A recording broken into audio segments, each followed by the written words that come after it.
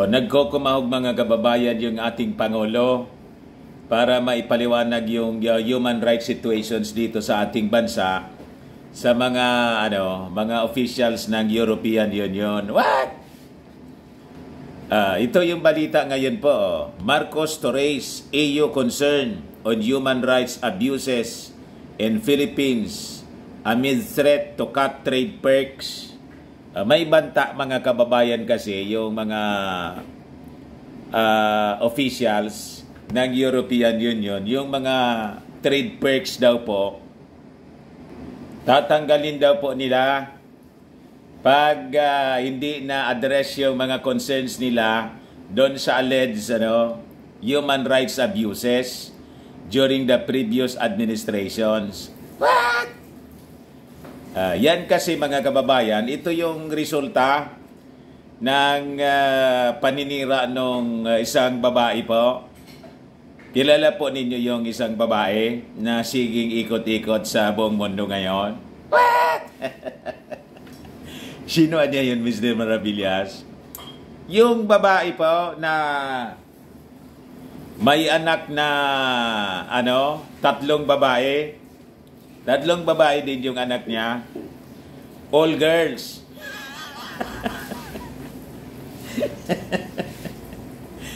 Tatlong babae na all girls yung uh, mga anak niya. Ayon.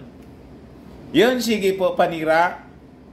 Mag-iikot siya sa kung saan saang bansa, including Amerika. Galing na naman nga doon sa Amerika recently. uh, laging naimbita, ayun, siniraan uli yung ating bansa. Ground zero daw mga kababayan ng ano ng uh, fake news. At uh, yung isa pang babae na yung isa pang babaeng Nobel, ayun. Sabi ko sa inyo. Ito yung mga salarin po dagdagan pa ng mga uh, kung ano-anong organizations dito po na anti-government. Hindi ko nga maintindihan mga kababayan kung bakit yung pinaniniwalaan itong mga taong ito. Di ba? Dapat sana official report from the the government ang pinapaniwalaan nito mga opisyal ng European Union. Ang source nila ng information kung hindi yung uh, kwento ng mainstream media na hindi man masyado verified, uh, saka yung mga militant orga- organizations na anti-government plus the opposition uh, na wala mang sinasabing maganda laging masama kasi hindi sila yung nakapwesto. Pag sila yung nakapwesto, siyempre, ah, uh, silensyo sila. At titingnan mo, kahit yung dinawang uh, administration po, may human rights violation. Kaya lang kalyado nitong mga international liberals.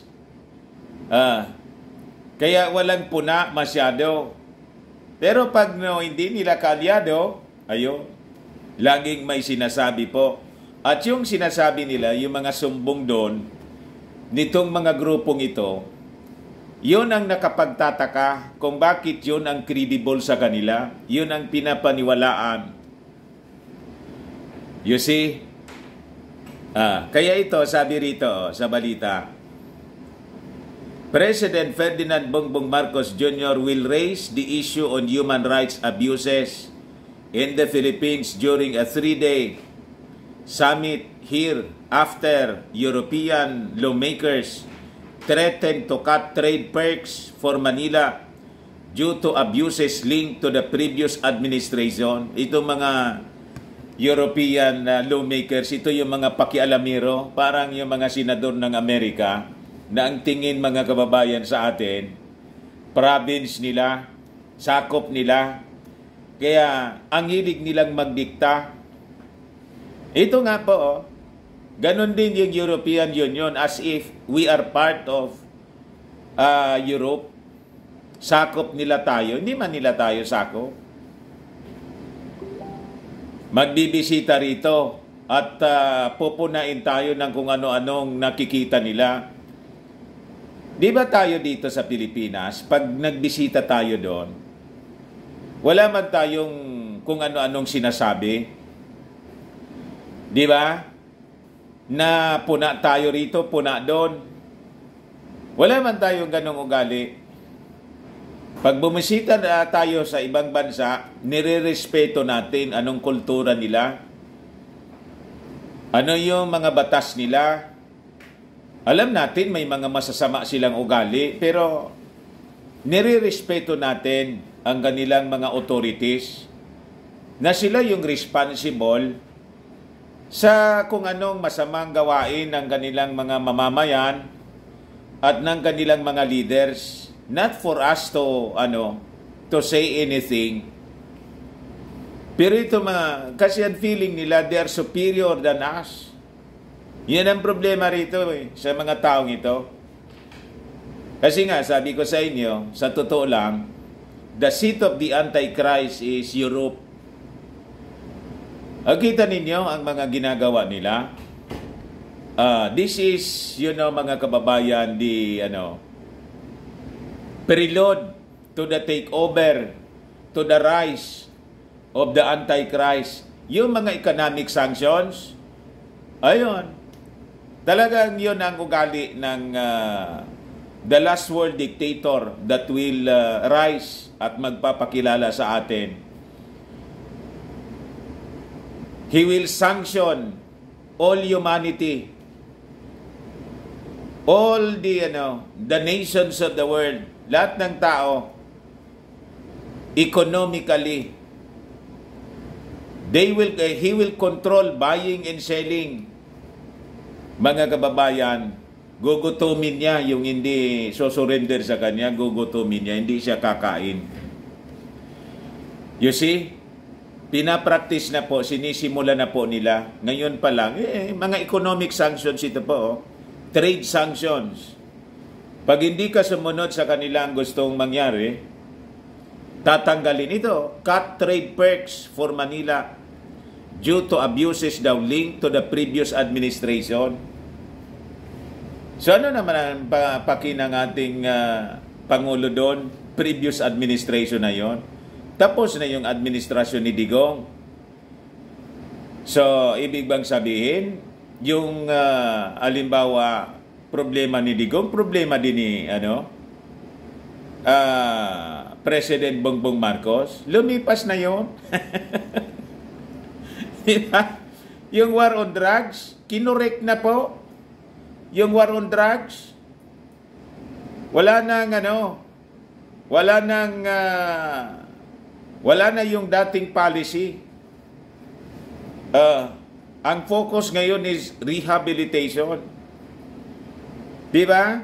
So sabi rito, we'll bring it up with the EU, sabi ng ating Pangulong Marcos. Uh, sa ano sa interview ng mga reporters po. But Marcos believe human rights and trade relations should not be related to each other. Tama po. Nasa tamang pag-iisip talaga yung ating ano, he has that sound mind, yung ating Pangulong Bongbong Marcos. Kaya mga kausap niya wala sa sa hulog. Ano naman kinalaman, kinalaman ng human rights doon sa, ba't ikokonik mo doon sa uh, issue ng negosyo? Yung negosyo, negosyo natin yon. Kinokonikta nila Kasi yung Pilipinas nasangkot sa mga human rights uh, abuses, uh, hindi na pa, hindi na pwede tayo na mag-usap tungkol sa negosyo. And uh, isa pa, yung issue sa human rights, previous administration yon. But sisingilin mo ako? I am the new president of uh, the Republic of the Philippines. Hindi ko man yon gusto Uh, that should be ano, bygones ano, uh, sabi nga, let bygones be bygones dapat. Uh, pero tingnan ninyo itong uh, ugali nila. Kaya sabi ng Pangulo, yung human rights issues anya and trade uh, relations should not be related to each other. Dapat separadong separad, separadong issue yun. Hindi mo dapat gagamitin yung issue sa human rights, gagamitin mo sa usapan natin sa business. Kung may violations ang bansa natin sa trade ano agreements, ayon pwede ninyo kaming isanction.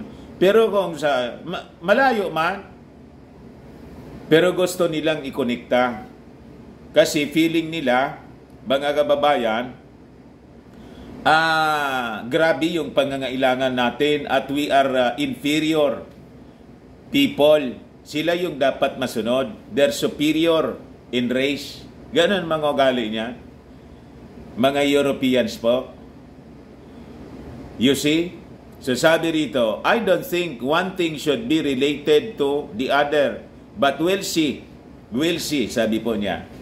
Sabi ng ating Pangulo.